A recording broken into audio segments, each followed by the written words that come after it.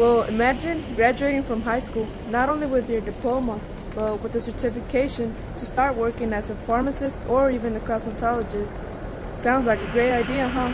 But students at my high school used to just graduate with a diploma because my school lacked career-related courses. Let's say, for example, a student wanted to become a, a medical assistant, a car mechanic, a pharmacist, a cosmetologist. Well, now it's possible. The new career-related courses at my high school are making it easier, cheaper, and faster for students to start their new career.